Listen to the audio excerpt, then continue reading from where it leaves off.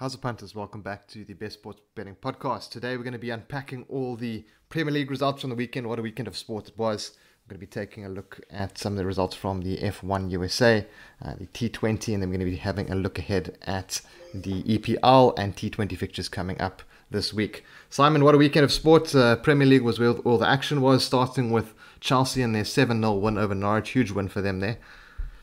Yeah, absolutely massive. And um, yeah, who would have thought we would have seen a, a nearly a, a scoreline nearly as big on Sunday with um, obviously Man United losing 5 0 to the hands of, in the hands of Liverpool. Really could have been a, a, big one there. Now we'll unpack that fixture in a bit. But on Friday, I fancied Aston, or I fancied Arsenal against Aston Villa. I thought that was quite a quite a solid strike. Arsenal coming through with a very comfortable 3-1 win over a, a lackluster mm. Aston Villa there. Then other results on on Saturday, we had Manchester City beating Brighton 4-1 not uh, kind of expected there. And uh, we had Newcastle getting a surprise result at Crystal Palace. Didn't see that one coming. Sure. I mean, that was an absolute steal. Um, Palace were absolutely dominant from beginning to, to end. I mean, it was. It really was very, very lucky. I think that Newcastle um, got away with a point there. But um, yeah, I mean, uh, January, yeah, I think really can't come soon enough for Newcastle. Obviously, we're going to be looking at some some big buys, I'd imagine. And uh, sure, after after a bit of a rocky game against Spurs, and in this one, I think um, Newcastle are, are, not looking good. So I think um, yeah, January January is gonna is, is, is well needed. Yeah, definitely going to be look to, uh, looking at fading Newcastle and all the upcoming games. They're just yeah, they're, they're not looking good. They, as you said, they got dominated there. Uh, but lucky to walk away with a point. Then uh, Watford beating Everton. That was also quite a talking point. Five two, playing at uh, playing in uh, in Liverpool. Yeah, absolutely. I mean, I don't think I can't remember Watford scoring five goals against any Premier League team. Never, never mind away from home against Everton, who obviously a, a top half side. So that was that was a really, really um, impressive result from them. Yeah, once again, Everton, my bogey team. They're just uh, if I back them, I'm glad I yeah. didn't back them there. But you know, that's that's one of those places or one of those points where I would have backed them and they would have just uh, I would have lost all my bets uh, that I include them in. And then uh, Leicester beating Brentford. Brentford's kind of good run finally coming to to an end against Leicester there. Yeah, I mean, I, I, know you thought maybe maybe getting on side with with Brentford there um, might have been an option with a draw no bet, so, but I think that was priced about right for me. I mean, as I said, I've been very bullish about Brentford this season, but at the same time, you know, Leicester are a good side. I think um, you know them sort of both being seventeen to ten with with with Brentford playing at home made a lot of sense to me. So I think I think that's that's a kind of expected result as far as I'm concerned. Yeah, it was a, was a very close game. I think uh, could have mm. gone either way. I think a draw probably sure. would have been the the best results. Um, considering how the game went, but but yeah. Leicester managing to to edge that one. Then West Ham beating Spurs. Um, we we liked West Ham. We liked them in that spot. They they managed yeah. to get a one 0 win over Spurs. Yeah, obviously it was um, an interesting London derby that, um, and I think I think not exactly an unexpected result. I mean, West Ham pretty solid at home. I think um, you know I suppose my I would have more expected perhaps a draw in that match, but um, yeah, good good result for West Ham in the end, getting the three points. Yeah, Spurs dominating possession, but just not doing anything with it. Uh, very disappointing for them, and another team that uh, one might start looking at fading going forward. And then uh, we had the big one, United Liverpool. Man, what a game! I watched uh, one of the I watched the oh I watched 80 minutes of it. Oh, probably 75 minutes. I turned off. Not that I'm a United fan, but the game was done and they were just tapping the ball around. What a what an opening salvo from Liverpool. 2 0 in the first. I think it was 15 minutes or something. I, I don't know what United's defense was doing there. It was just uh, it was atrocious defending. Yeah, it was absolutely it was it was appalling actually. I mean that was the biggest win for Liverpool actually at, at Old Trafford since 1895. So it really was quite an historic win.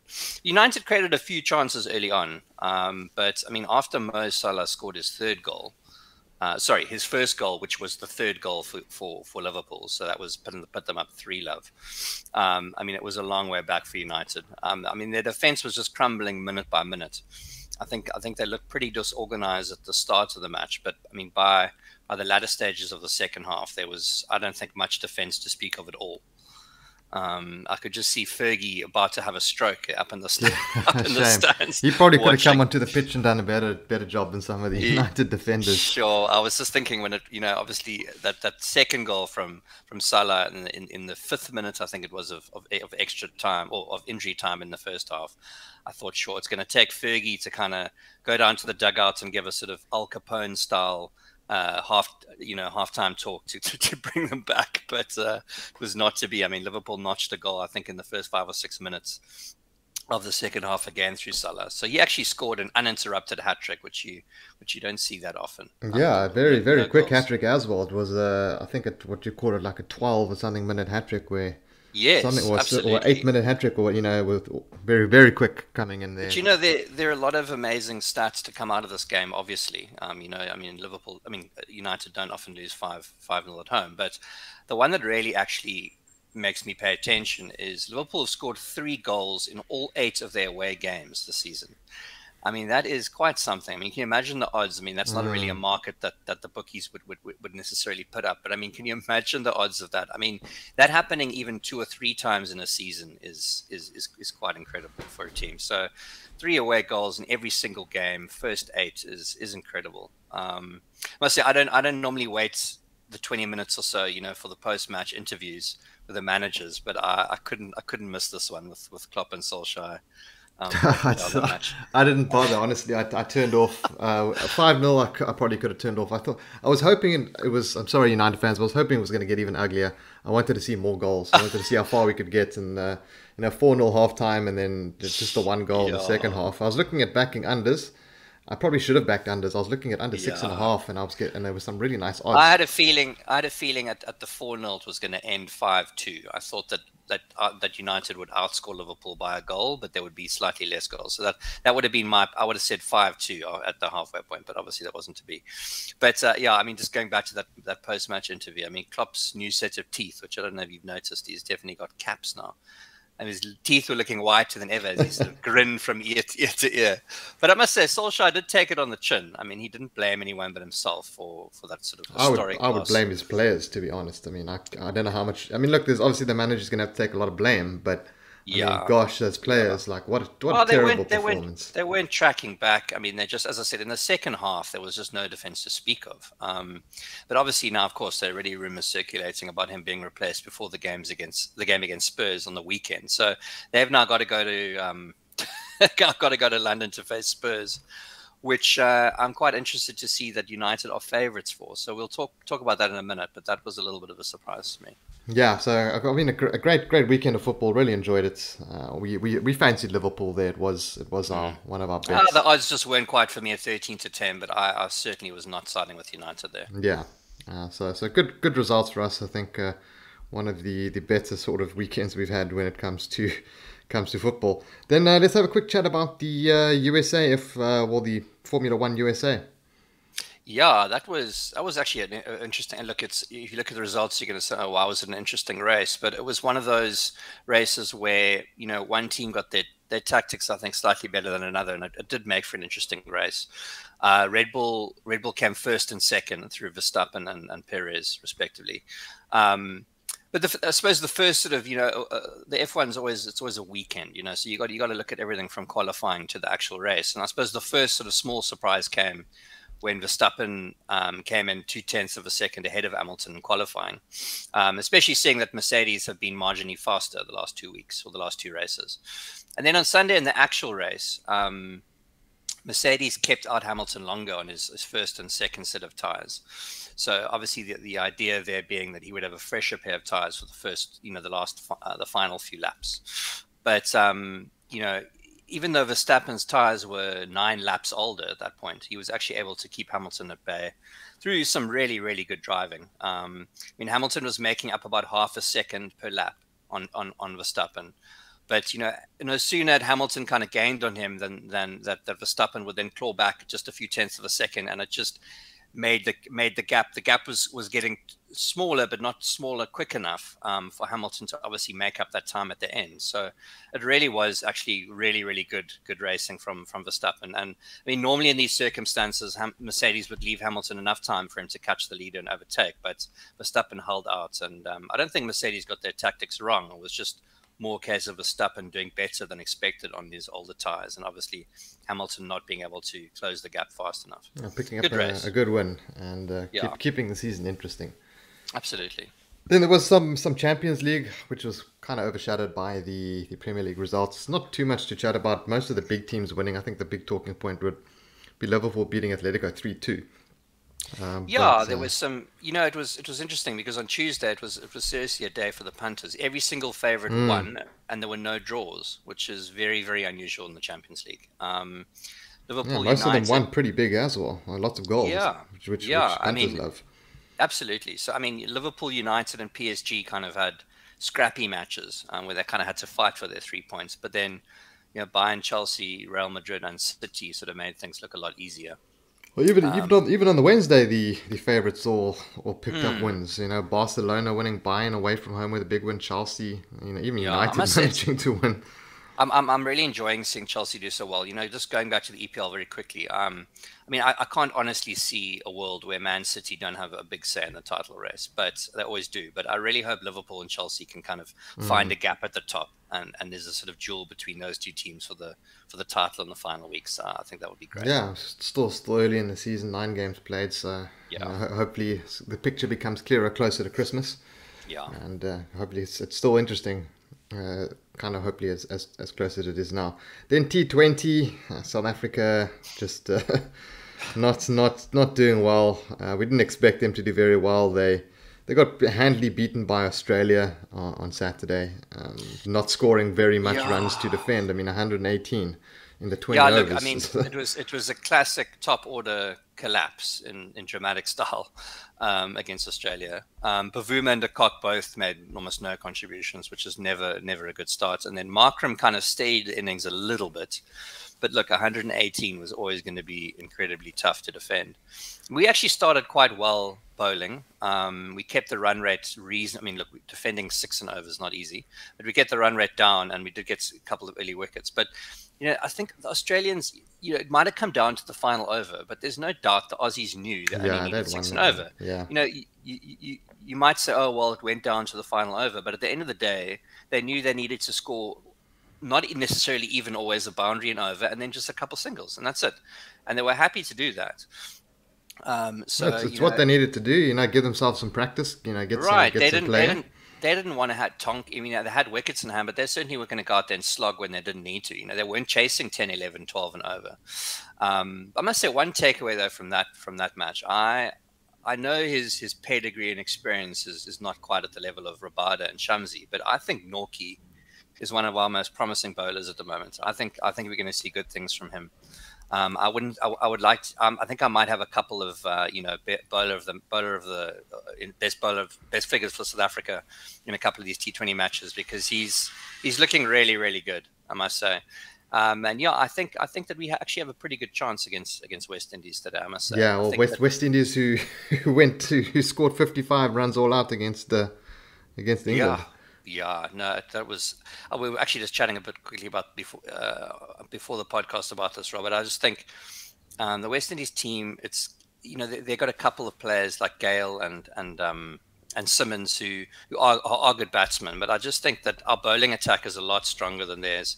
And I think if we just get even just one of De Kock and Bavuma or Markram to really put in a good a good bat, I think we'll I think we could actually beat them quite easily. So I actually looked at this. The odds the odds were it was it was even money on on on South Africa, and now I see there has been a bit of money come for South Africa. So now it's sort of nine to ten on both sides. So I necessarily think there's value there. I think this will be could be a quite a close one, but I would definitely favour South Africa over West Indies in this match. Yeah, so they're playing at, twelve thirty today mm. or twelve o'clock today. That's and, right. Uh, yeah, I think it's going to be uh, an interesting match to watch. I think South Africa should win this one.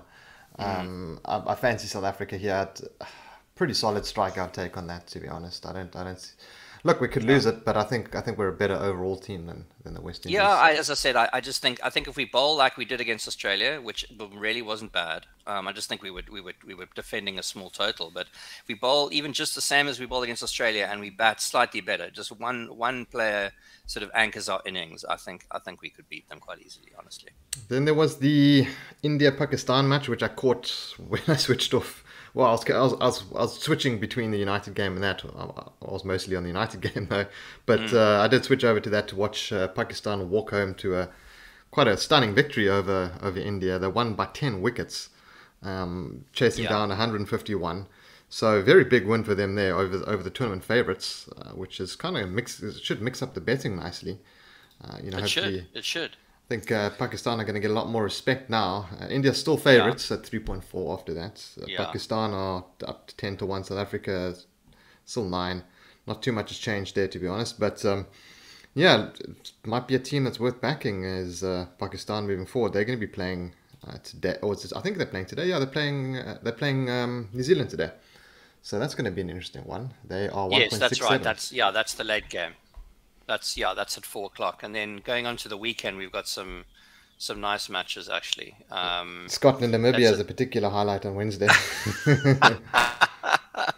we've got South Africa and Sri Lanka um, on Saturday, as well as England, England, Australia. So I think you know once those two matches kind of go into, I think I think we'll really see the tournament kind of getting into full swing. Um, I think England so Australia is going to be a cracker.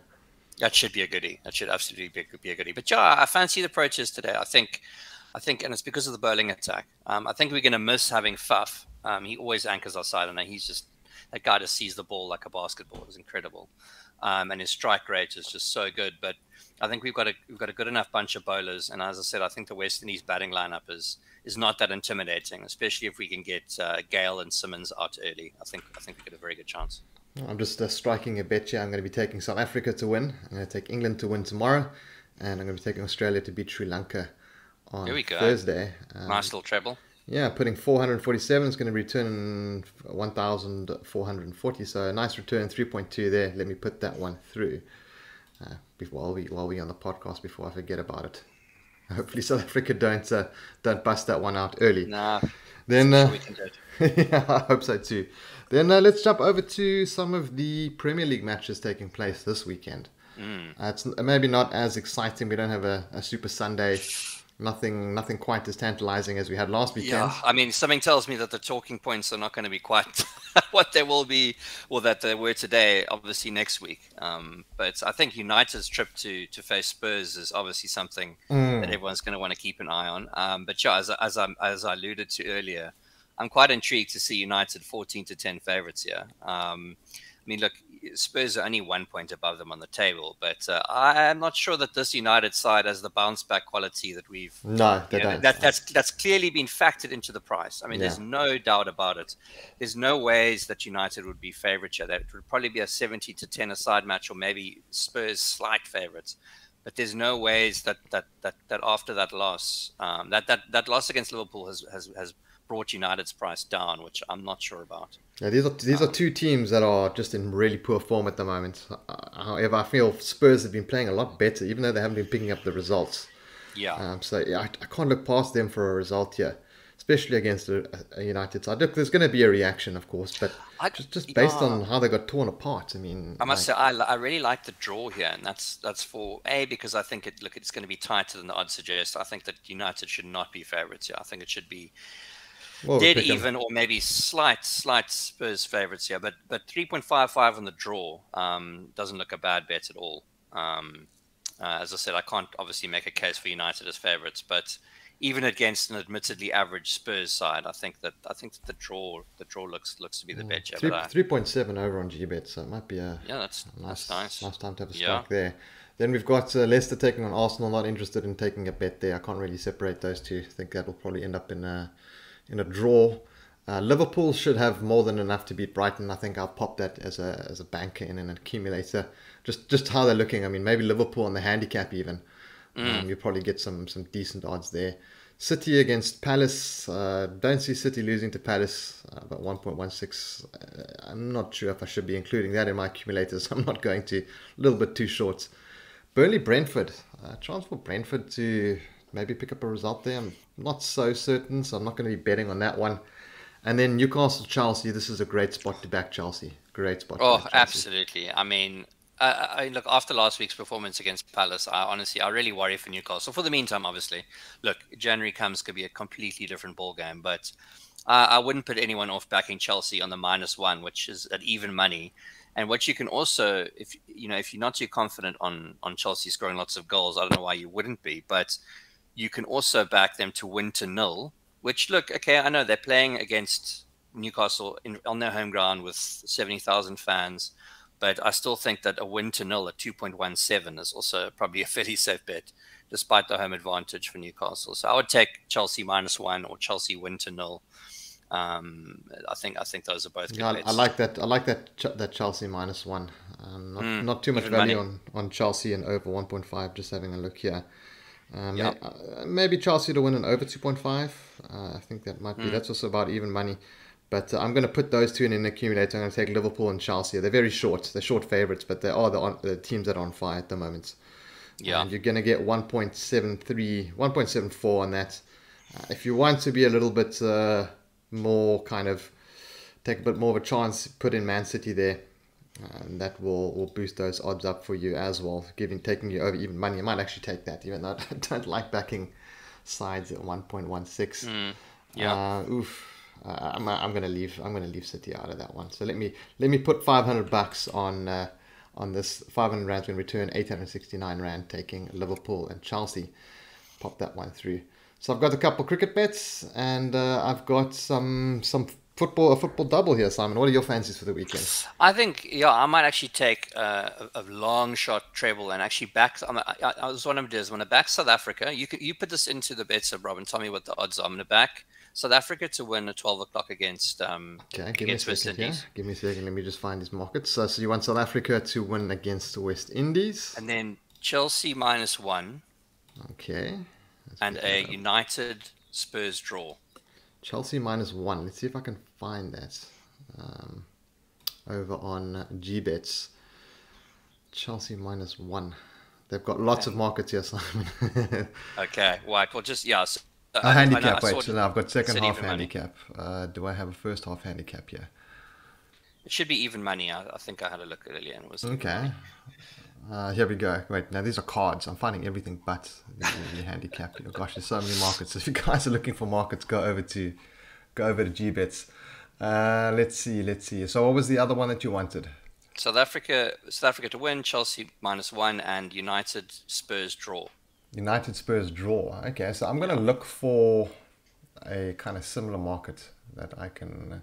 Oh, here we go. Three way handicap. Chelsea minus one, 2.05. And then you wanted uh, a draw with uh, United. United and Spurs. Yeah. Let's pop that one in as well and see what we're going to get. Uh, here we go. It's going to pay nicely. Um, you're getting 13.8.